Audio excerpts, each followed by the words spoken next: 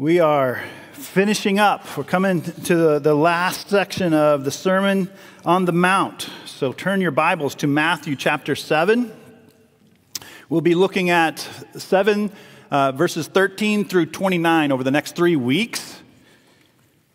And what we have in this passage is we have Jesus finishing a sermon and he's wrapping it up. This is the so what. He's landing the plane.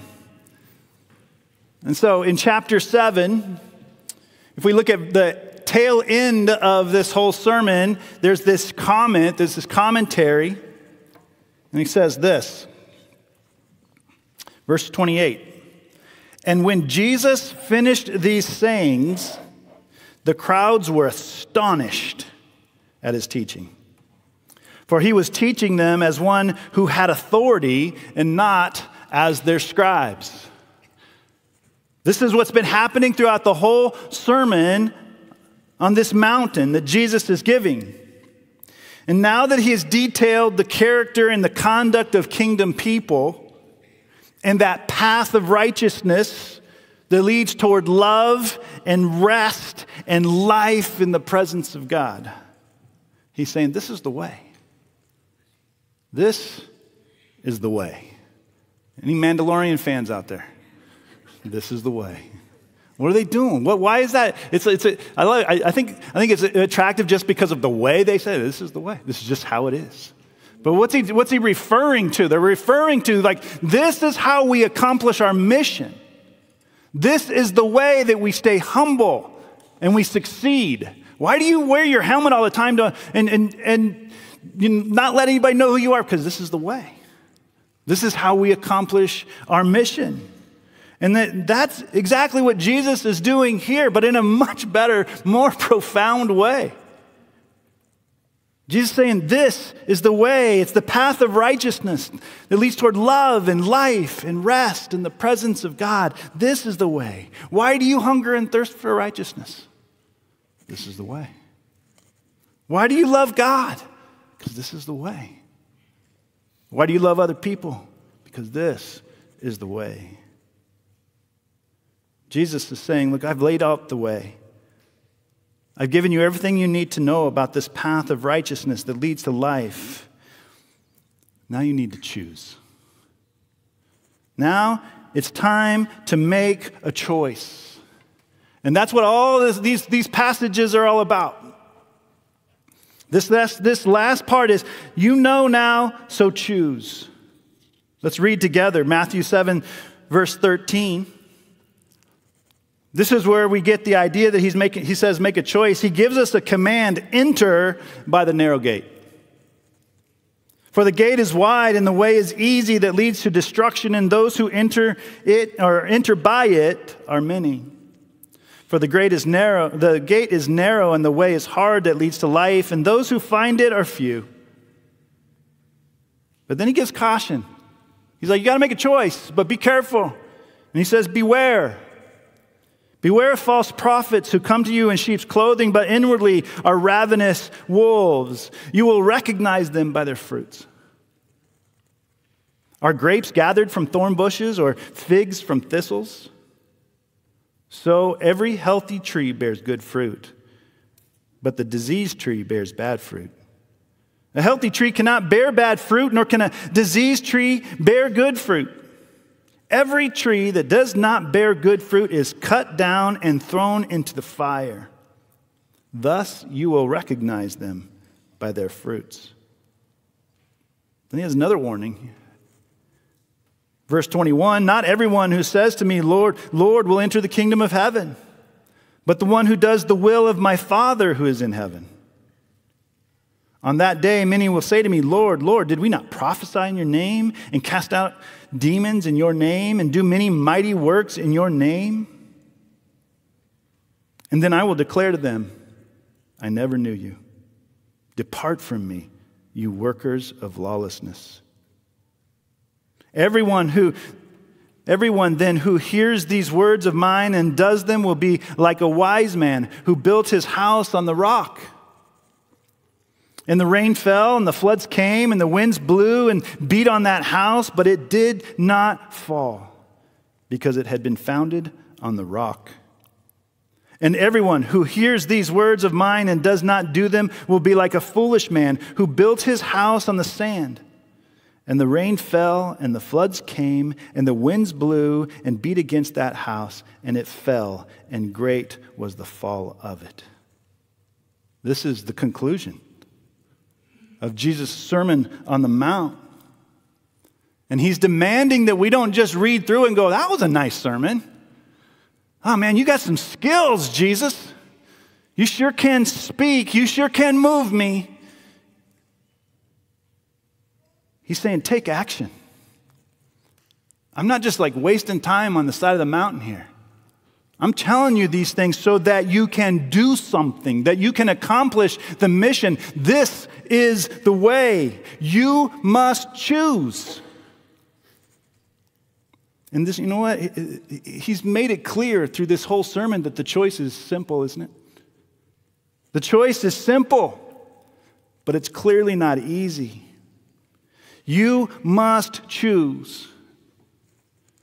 The choice is simple, but it isn't easy. There's a passage in Jeremiah chapter 6 verse 16. Jeremiah 6 16, I think I have it up here. Do I have control of this?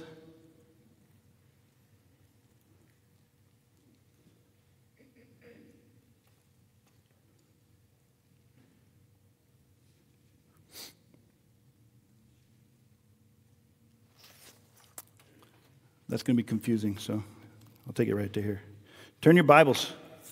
Turn your Bibles to Jeremiah 6, verse 16. And what we have here, the reason I love this, this passage because it, it's, it's the picture throughout all of the Old Testament. This idea of choosing is not, is not just Jesus saying choose. Throughout all of Scripture, we're called to choose, we're called to believe, we're called to repent, to confess and repent in faith. Choose this day whom you will serve. Now, I want to, I know that there's going to be some in, in here going, I thought, Jamie, that, that God chose us. I thought that that's what, how we got saved. There's nothing that we could do that He chooses us. Is that true or not? And the answer is yes. He does. He chooses us, and then He says, choose. He chooses us so that we will choose Him. How does that work? I don't know. But I, don't, I, I just wanted to say that up front. I am not moving off a reformed view of salvation like we can do something to muster up our own salvation. It's very clear in Scripture that we cannot. And the Creator God of the universe moves in our hearts so that we can. And when we do, you know what that's going to look like? We're going to choose. We're going to choose. So Jesus can say, it's time to choose. And it's a simple choice, it's just not easy. But here's a picture in Jeremiah 6:16. Thus says the Lord, stand by the roads and look and ask for the ancient paths where the good way is and walk in it and find rest for your souls. I'm going to read it again. Thus says the Lord, stand by the roads and look and ask for the ancient paths where the good way is and walk in it and find rest for your souls. Now, this is actually a condemnation against the Israelites because they said, We will not walk in it. Could you imagine? But picture this. I mean, this is, this is the idea. You don't even have to imagine because this is us, is it not? We're standing at a crossroads. Picture, picture yourself standing at the crossroads and you're with Jesus Christ. You're with Jesus. Stand by the roads. Look, ask, knock seek, find. That sound familiar? Look, ask for what? The ancient paths. This is not a new way. This is the way from the very beginning. That's what ancient paths are. This is how creation started. God is laying down the roadwork, if you will, of righteousness that brings life. Seek that. Seek where the good way is. And then what? When you find it, what are you supposed to do? Walk in it. Believe it. Even if you can't see where it's going, you know where it's going because you believe. And what will you find? You'll find rest. Not like you'll get some sleep finally, but you'll find rest at the soul level. And as we're standing at the crossroads, and Jesus saying, Seek and find. When you find, to walk in it, there's an implication there that if you don't seek, if you don't find, where are you going to be? It's a crossroads. There's another road, there's another way. And if you're not on this way, on the ancient path, then you're on the other one. And you got to find it, you got to see it. This is the picture. Jesus is finishing his sermon, he's wrapping it all up. He's standing at the crossroads with us, demanding that we choose. And he's not saying just choose one or the other. He's saying choose the good way. Because this is the way. It's a simple choice, but it's not easy. So, what are my choices? Well, choice number one is the choice of destruction. Look at verse 13. Verse 13. Now, this is chapter 7, going back now, of Matthew. Enter by the narrow gate, for the gate is wide and the way is easy that leads to destruction, and those who enter it are many. For the gate is wide and the way is easy that leads to destruction, and those who enter it are many. There's two destinations here, right? We've got, we've got two gates, we got two ways, two destinations, two travelers. And the destination that he brings out initially here is that, look, you can choose destruction. If you don't choose the other one, you will choose destruction. And what's the other one?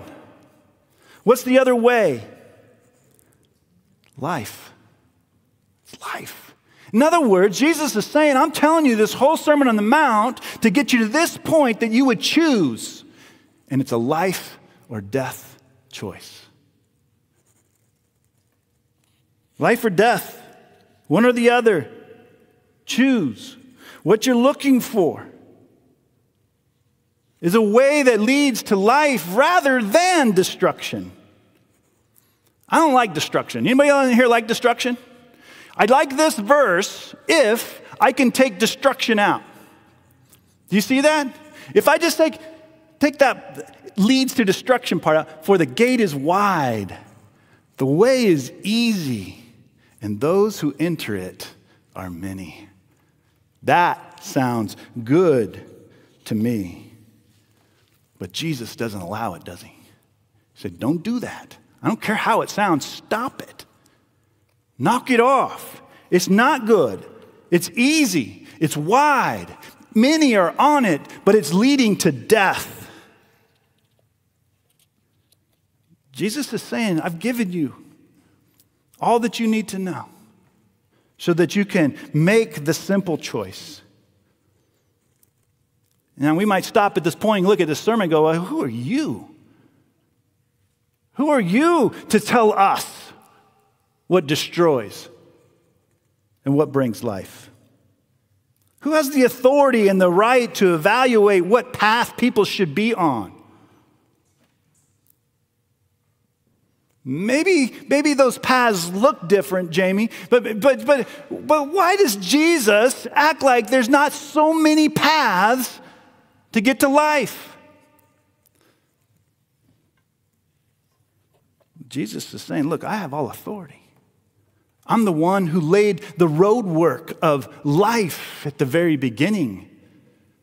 I'm the master road builder of the ancient paths. Get on that path. It's the only way to life. I have the authority to tell you to get on it. Will you listen? So the question then is that how do we how do we take this this either or proposition? The radical nature of this choice. by the way, you, you see what Jesus is saying here? He's, he's not just like choose, he's, say, he's like change. Do you see that? He's saying change, be converted. You're a new creature, get on the path. This is the way. So, how do we identify the way? How do, we, how do we stand at the crossroads? How do we ask and seek and knock and find and then walk on it? How do we differentiate between? I mean, it's, it is confusing. That's why it's a simple choice, but it's not easy. I mean, I know I should choose life, not death, but man, how many times do I choose death? Mm. How many times do I to choose death? And how can I tell the difference? Well, Jesus tells us in this passage here, he says, he says it's narrow. That gate you're looking for, the one you're asking and seeking, it's narrow, not wide. It's hard, it's not easy.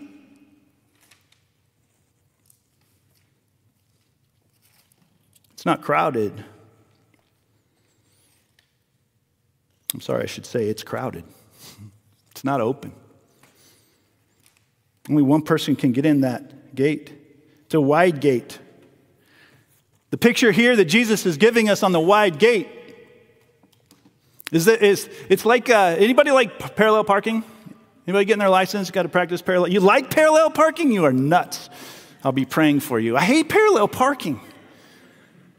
I want a wide, I want a wide open space. I hate going downtown and having to park and do this thing and hold up the traffic and then I miss it. Yeah, you know, then I do a 24 point turn to get in there and the whole thing. And then, and then I just finally, I just like, I'm going, I'm going to walk. I'm going to park two miles away and come. I, I mean, it, like, I don't want to go down. I don't want to go to a ball game downtown because I don't want to park. I much prefer Peoria, Northern Peoria specifically, where I can just go and I can just kind of cruise and go to the side of the road and then just stop. I don't have to do anything.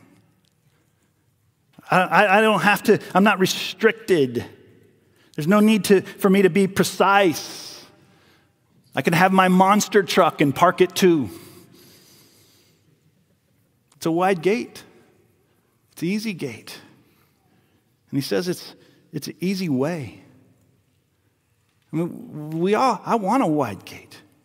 I want the easy way. But how come, if the, if the choice is so simple between death and life, why do I always choose? Why do we always choose death? And I'll tell you, I say that because it's easy. That's why we choose it. Turn your Bibles to Romans chapter 1, verse 19. We'll go through 21. Romans 1 19 through 21. And look how simple the choice is. Verse 19.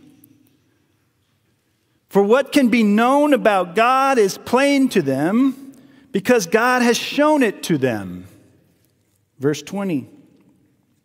His invisible attributes, namely his eternal power and his divine nature, have been clearly perceived ever since the creation of the world in the things that have been made.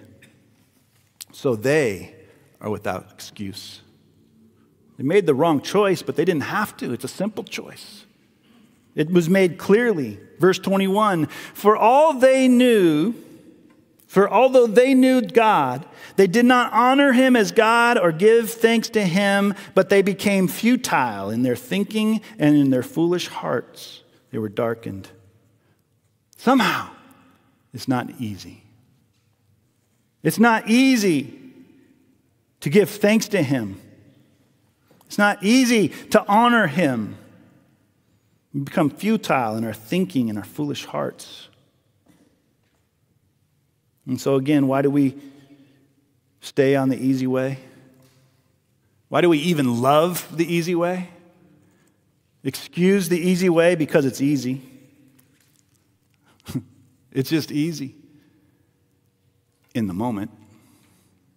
It seems easy, but it's not easy. We don't honor God, we don't give Him thanks because this easy way doesn't allow it. This easy way feeds all my earthly desires. I mean, if, I, if I'm just on the easy way, I don't, have, I don't have to play with the kids. I don't have to help around the house. I don't have to do anything I don't want to do. I, can I, I, you know what? I work hard. Can I just enjoy the game? It's easy. Can I, can I just do that? I don't have to think deeply. See, if it's, if it's about honoring God, I got to think about that. If it's about giving thanks, then I got to think about something other than myself. I don't want to think deeply. On this easy way, I don't have to put up with people not liking me. I don't have to put up with it. I don't have to worry about what's obedient. I don't have to worry about who's boss. I don't have to worry about doing anything other than what I want to do. I can be my own boss. And by the way, everybody's on the easy way. Everybody's there. And you know what? As long as it's okay with everyone else, it's okay with me. That's the easy way. You see what I'm talking about? That's parking in Peoria. It's easy. I don't have to think deeply. I don't have to obey anybody. I can be my own boss. I don't have to sacrifice. And what's the result? What's the de- destination of that way? It's unrest. It's away from the presence of God. It's superficial. I mean, just think, think about your own life right here. Grace Church. It's the, what's the smoke to the fire of death? You know, where there's smoke, there's fire, right? What's the smoke? Well, it's this superficiality. We call it putting on a mask, like we could a Christian mask, right? We just got done with, with trick or treating and, and, and costuming. We could have all gone into our closet and pulled out that Christian mask, put it right on there. It's got this big old plastic smile. Everything's good. What's the smoke to the fire of death? It's self love. Expresses itself in indulgence, hypocrisy, selfish ambition, fake religion. Why do so many stay on the easy way and love it? I mean, how's this working out for us? Why do we stay on the easy way and love it? Well, I'll, I'll, because it's easy, and because everybody else is on it. It's what we know, it's the way that we're comfortable with. This easy way literally swallows people up. Have you ever seen those, those big old whales with one acre mouths? Right? And what do they do? They just open their mouth and all the water rushes in, and what comes with it? All the fish out of food. That's a great picture of the way. There's so many people on it. The whale's just opened his mouth. There's, we're just all going to get in there. It literally swallows people up. No decisions required, no strength required, no resolve required, no deep thinking required. This word that's translated wide can be translated roomy, spacious, easy. You ever seen a, a, a trout being stalked in a lake? What does he do? He just sits in the, in the truck in all the water. They open up the valve, he comes out, and he's in the lake. That's what this is talking about. It's wide, it's easy. I don't have to motivate myself on the wide way, on the, during the wide gate. All my movements, all my wishes, all my decisions are just made for me. One author put it this way he said, There's a throng on that way, and the mass is moving.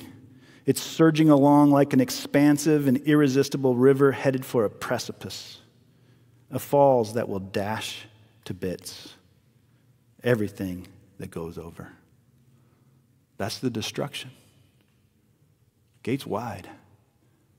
The way is easy. It's spacious, but it leads to destruction. I would say that the majority of the people that you and I know get swept through life this way. We get swept through life this way, like a sweeping current. Have you ever been to a concert or a ball game, and after the game, everybody gets out at the same time? Right? And you get in those halls.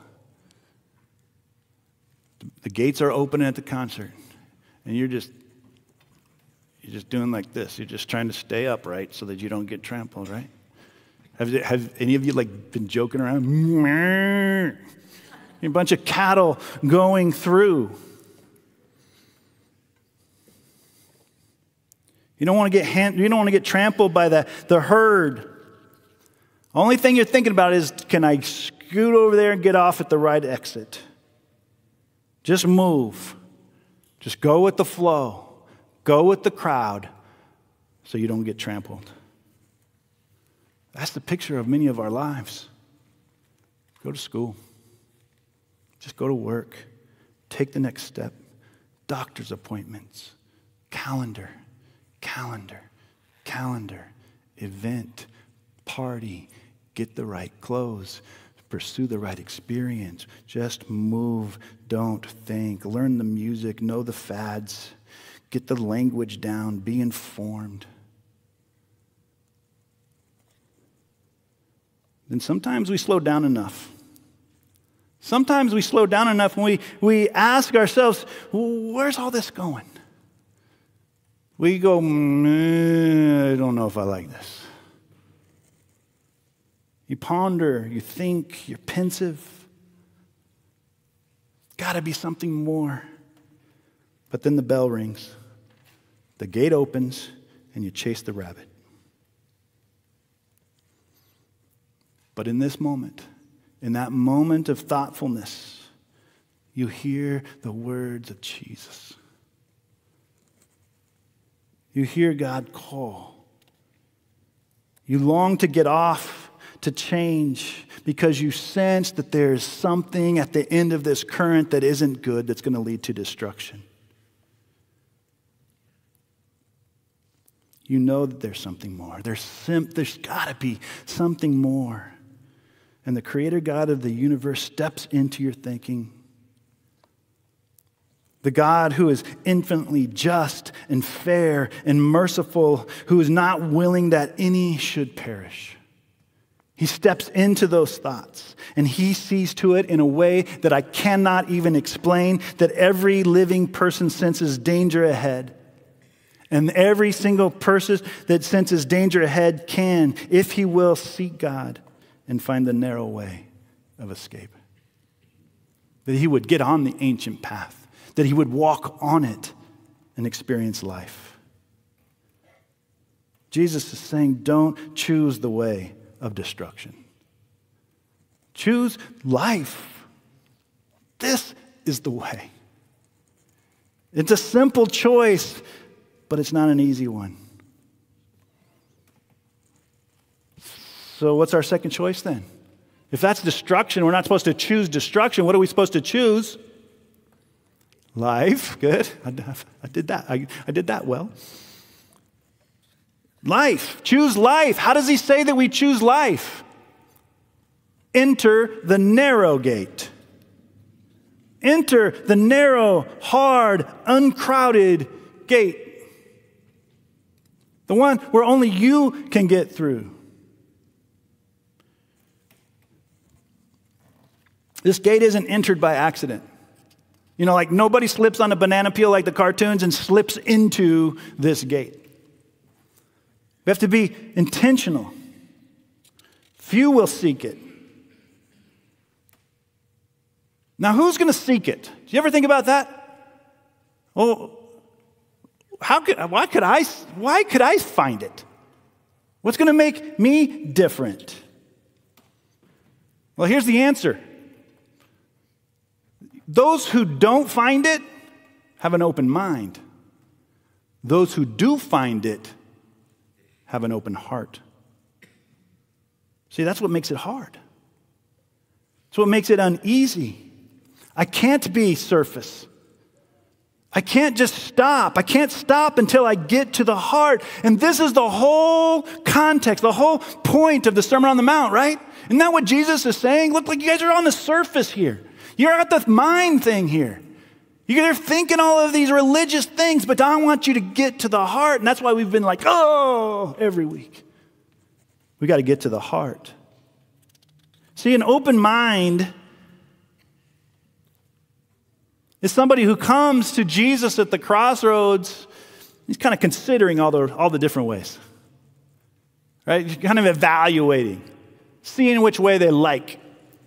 Kind of a, a consumer, you know, I'm at the market comparing goods kind of idea. My mind is open. I'm sure there's a way to this life that you're talking about, and I'm, and I'm willing to explore. And I'm glad for those conversations personally. Like when people, you know, I want to explore all those things. But those who approach Christ with a shopper's mentality, mentality will never find that gate. It's too hard. I knew a guy who was struggling with alcohol. He's an alcoholic. And his life showed it. He was very intimately familiar with the consequences of daily choices of sin. The daily choice of destruction. this guy was super smart, intellectual, thinker, right? Quick, very functioning in his sin. And my interaction with this guy was, was in so many ways, I mean, we're talking like over years. My interaction was to come along, have these conversations, bail out, encourage, all of these things. There's this conversation that's going on. What I realized, though, after a while, is all this guy wanted to do was he wanted to think at the intellectual level. His mind was open to all of these things, but he, his heart was not open to making a choice. In other words, what he was doing is he was protecting his own sin by being smart about godly things. He had good thoughts that protected him from getting to the heart. And until God moves in his heart, he will not find the narrow gate. See, Christ insists that we come to him with an open heart. He insists that we hunger and thirst for righteousness. That we wouldn't just hear the Sermon on the Mount, but we would be like Shrek who would say, Get in my belly, right? I'm get in there. I don't want to just see it. I don't just want to hear it, but I want it to be a part of who I am. I want it in my heart. Get it in my heart so that I can cast my whole life, all of that I, I am, at the feet of Jesus. Here's a caution, though, before we do that. I, don't, you, don't, you just, don't you just love being somebody who hungers and thirsts for righteousness? They, they just have this, this, you're like, can you just stay? Here, here's another piece of pie. Can you just stay? Right? Then you have some people, maybe you know, and here's the caution. If you've been around church, if, you've been a, if you're a long-time believer, maybe be careful. You ever heard somebody say, Well, I've been on the straight and narrow. I've been on the straight and narrow for 20 years.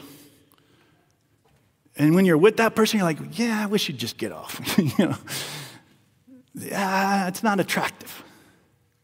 Well, what's, what's the difference there? See, see, this passage can be used as a call to be a Pharisee, to be a hypocrite, to hijack religion and make it about me. And when we take it that way, it just gags out and it, and it just it chokes out. It strangles the grace of God. It's not what Jesus is talking about at all. It's a narrow gate. It's a restrictive gate.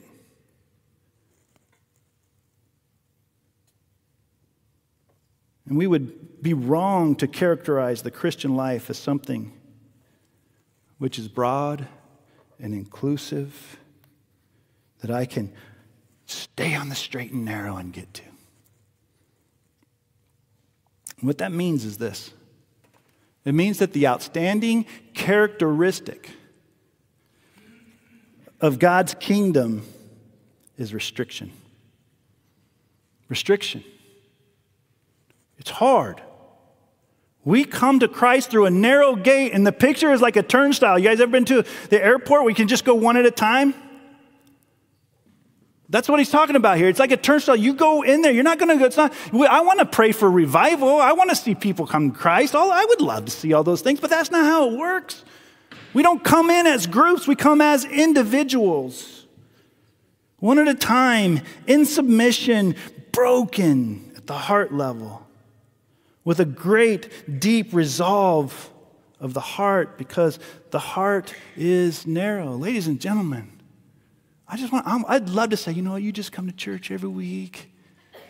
You just get in a little DNA groups, and you just study your Bible, and it's all going to go well for you. It's not. It's not what many people think it is. It looks neat on the surface, but the way is going to wind into Jerusalem. I mean, we're going to Jerusalem, we're going into God's presence, but on the way, we're going to have to go through Pilate's judgment hall and be persecuted and condemned by those who are irreligious. And we're going to have to go into the, the high priest's chambers and be persecuted and condemned by those who are religious. The narrow way will go through little towns and dirty slums, through lonely Gethsemanes and up cruel Golgothas on the way to death. It's a simple choice, but it isn't easy. See, when Jesus met the rich young ruler, he said, Go.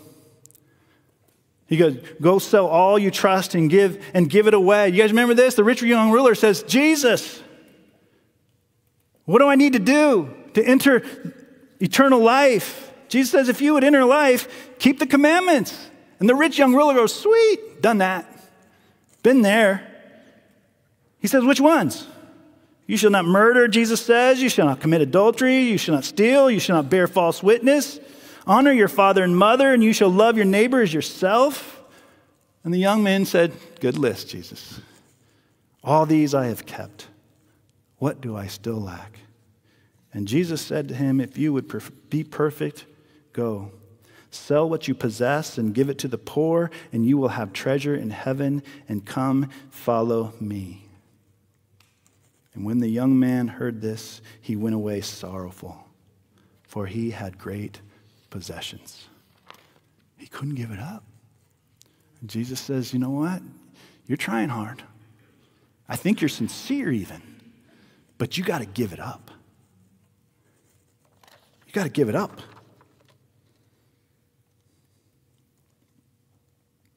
How about you? He wasn't willing to give it up. He wanted eternal life, but he wanted to bring his stuff with him. You ever done that? You ever been to the airport and you have that you have the restriction, right? I hate restrictions. 50 pounds on that restriction. Then if you get on a smaller plane or something like that, what do you got to do? You got to rearrange your luggage. You got to put it in this bag and that bag, and you open it up. We had a we were traveling once, like a couple years ago, and we were in this like international airport, and Andre had her stuff out and we were rearranging, doing this whole number. And there, there was, there was a, a, guy from that doesn't speak English, and he's like looking, just staring, like checking out everything that's in there. Just kind of funny. But that's what we do, right? Eh, but, but that's where we have to get rid of the thinking. We don't get to rearrange our luggage. We don't get to, we don't get to put it on a carry on. We're going through a turnstile and we can't take anything with us. What do you need to leave behind? What will not fit through the turnstile? Is it your safety? Are you deathly afraid of being different? See, this narrow gate admits one at a time. You go alone or you don't go. The world says, look, there's safety in numbers. If, if, if, if everybody's not doing it, then it's probably wrong. And Jesus says there's not safety in numbers. Jesus says, I'll keep you safe. Do you believe? The world says if we're going down, at least we'll go down together. And we go, yeah. Mm-hmm. But Jesus says this He says, I've already gone down to destruction without being destroyed so that you will not go down. The crowd may carry you on the broad way, but on the narrow way, you have Christ. And it's either or. It's a simple choice, it's just not easy. Maybe you need to just give up yourself. I mean, all these things relate to each other.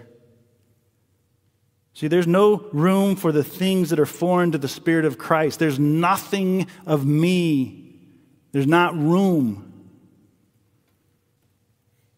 Jesus says, deny yourself, take up your cross, and follow me.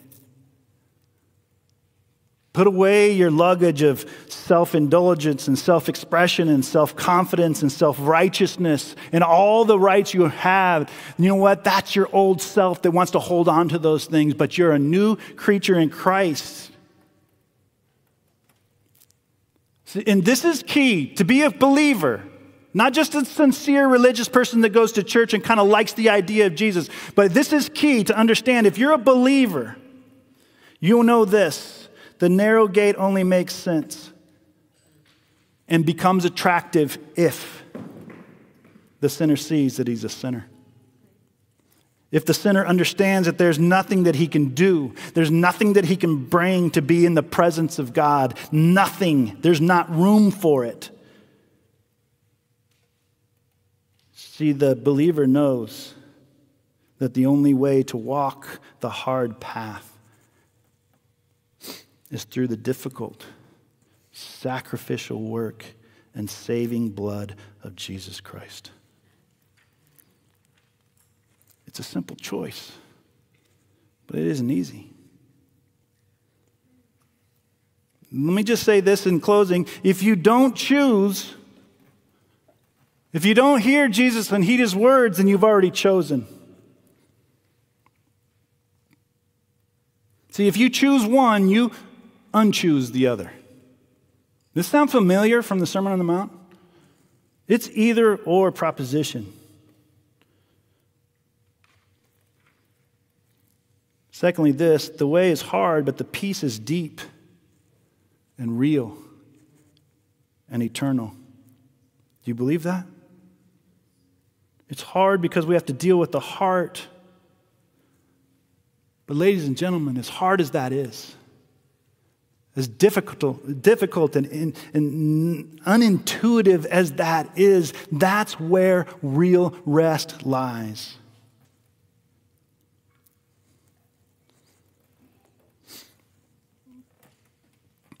I had a great time just recently in our Exodus study, and I kind of had one of those aha moments. I had an aha moment when I saw that, that this whole narrative is, is comparing Moses' response to God revealing himself to the Israelites' response. Chapter 19, we see that God, and he, he comes to Mount Sinai, and, and it's this big, dramatic cloud, fire, trumpet. It's, I mean, it's, can you imagine standing at the foot of a mountain and seeing all of this swirling around, and then he speaks in trumpets and thunder, and that's how he gives the Ten Commandments. Holy moly, you ever think about it that way? No, we think that he just went up there and he's like, tell me the, the third commandment is what now? And God is speaking to the people, and they see his they, they see his greatness and his majesty, and they see all of these things, and their response is, Whoa, whoa, whoa, whoa, that's enough. You talk to Moses. Moses, you tell us what God says. We're going to go away. We're going to go far off. We go, sillies. But then you go through the whole rest of that narrative and you get down to the, the part after they after you know moses is up with god for 40 days and then they make that golden calf and they worship it and you're like what are you doing and god responds with wrath and with anger and he's talking to moses he's saying, Moses, I'm not going with you. I'm not going to be present with you. You can go to that land that I promised, but I'm going to send an angel. And you know what? He's not going to be putting up with you, but I'm going to send him so that you can get into that promised land. And Moses went, ding, ding, ding, ding, ding. Wait a minute. He saw that amazing picture of God on the mountain. He heard the thunder. He's been with God, and he knows that these stiff necked people require the wrath and the response of God that they got. And he goes, But I'm not going away. God, if you, nah, no angels. If you're not going, we're not going. If I'm not in your presence, then it's not going to be good. You know why he doesn't want that angel? Because he knows that they're stiff necked people and that they're going to mess this thing up, and that angel is going to take care of business. He's like, I don't want an angel like that because I know we're going to mess this thing up. I want you, God. What? And so, what does Moses do? He says, I want you, counterintuitive, scary mountain presence, and he steps in to what God reveals to him. This is the way. He steps in to God's presence. And what does God do? God shows him his mercy and his compassion and his loving kindness and rest in his presence. Some of you have some choices to make, and it's not intuitive. Some of you have some relational choices to make, like long term relational choices. Some of you have some, some conflict to resolve. Some of you have some financial choices to make, career choices to make.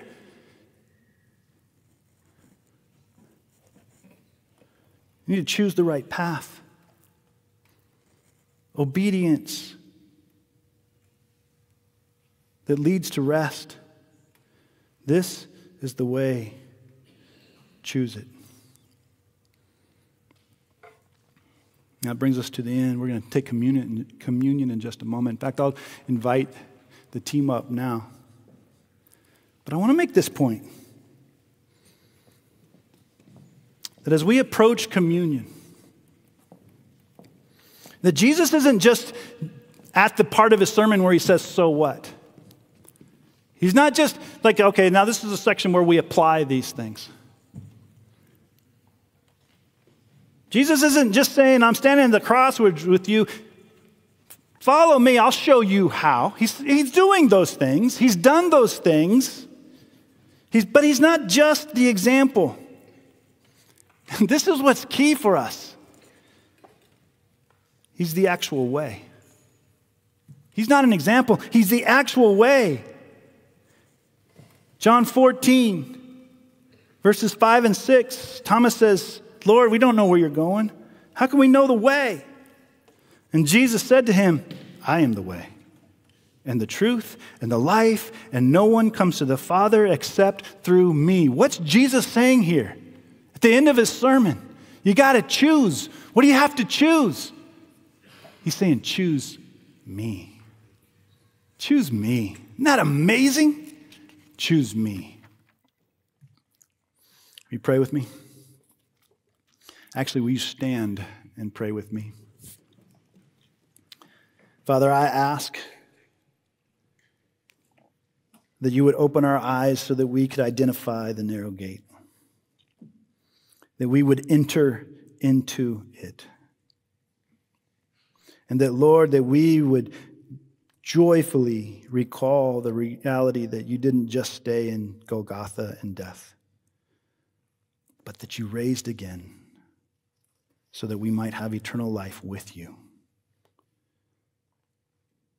Make us a people who don't easily forget that.